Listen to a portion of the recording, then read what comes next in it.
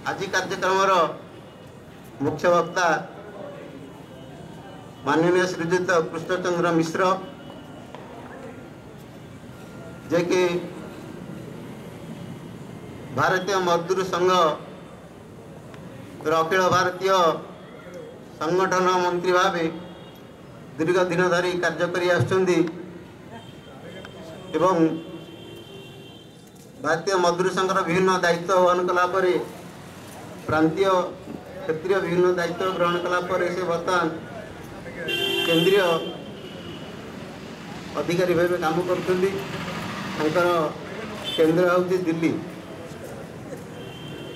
ମଞ୍ଚର ବାମ ପାଖରେ ଉପବେଶନ କରିଛନ୍ତି ମାନନୀୟ ଶ୍ରୀଯୁକ୍ତ ପ୍ରଦୀପ ଯୋଶୀ।